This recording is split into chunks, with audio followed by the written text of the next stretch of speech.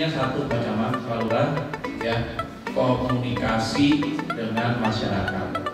Terbuka apa yang kita inginkan, apa yang mau nanti kita capai di masa yang akan datang, dan tidak mungkin kita membiarkan masyarakat hidup seperti ini terus.